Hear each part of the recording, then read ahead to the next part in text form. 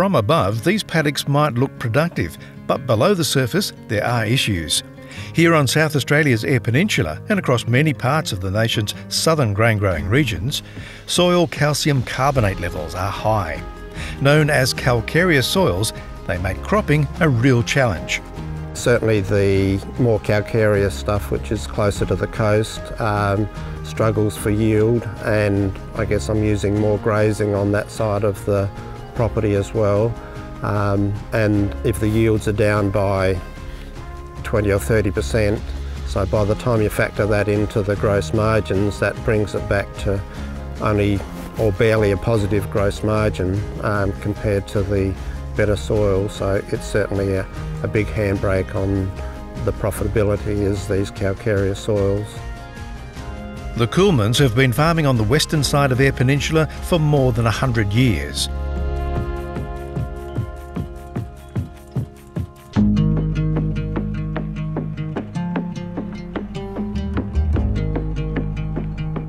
It's low rainfall country, but today the weather was kind. Farming here is limited to cereals and sheep. On Peter's 10,000 hectares, wheat covers 75% and barley the rest. Sowing them dry is not so easy. The germination isn't so, so good and the growth. Um, most of the plants that come up, they don't tiller very well and if they're slow in coming up then they're more exposed to the Rhizoctonia and Pratylenchus. It's common for calcareous soils to have a calcium carbonate content of 40%. Peter Kuhlmann says the worst of his country has 70%. These alkaline soils also tie up phosphorus, and diluted phosphoric acid is used as fertiliser to provide available P and convert some of the calcium carbonate into carbon dioxide. So I'll just demonstrate what it looks like. It'll be put down a continuous line so there's lots of points of contact but this will effervescent and looks quite spectacular. So here it is on the topsoil. If I try and pour a little bit. So this is the, the acid reaction. We get a benefit from acidifying the soil a bit. So that's got the, the P in it, which is quite available. And if I put it on the subsoil, it probably will fizz even more. So you can see that's quite spectacular there. Um, but by using phosphoric acid, we're getting good early growth out of our plants and we can carry fungicides and trace elements in the stream. An investment by the GRDC into new research involving the Soil CRC, CSIRO, New South Wales DPI, and Primary Industries and Regions, South Australia, will build on earlier research findings that still shape crop management decisions. The research that Bob Holloway did years ago said that on the high, highly calcareous soils we can get better effect um, with only half the rate, which is about on a par cost-wise and use a bit of nitrogen if I need to and because it's a, a liquid stream I can add zinc in there as well which is just another insurance method to try and get the crop up and away.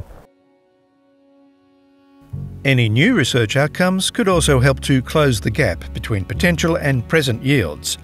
At Mudamuckla, Peter Kuhlmann is averaging 1.2 tonnes to the hectare. He believes better summer weed control could start to reduce his yield gap. I would think if we got it all right, we probably could jump it up another 30%, so 1.6 could be could be possible, I, I would think. Decades of difficulty in getting more from these hostile soils underscores the need for this new calcareous soils initiative. Oh, it's very important. I guess that's a path that my father's followed down as well is um, looking at the latest research and seeing how we can do things a lot better. And I guess that, that was my role previously in GRDC, um, just trying to, to find so, something extra to, to make it more profitable in farming.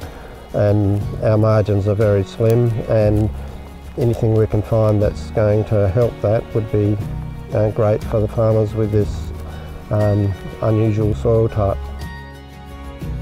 This Upper Eyre Peninsula trial site and several others in the southern region will help the research effort to more fully understand the nature of these soils and their impact on water use efficiency and crop production. I'm hopeful there's a, an answer out there. They've certainly been challenging soils and something that we can apply or afford to apply. The other challenge we have is a declining rainfall, which is making it harder on everything too. Our water use efficiency is going up, but our average yields are still staying similar to what they were when my father started farming. So that's a, a big challenge as well. Go to the description bar below for the latest information, links, and resources.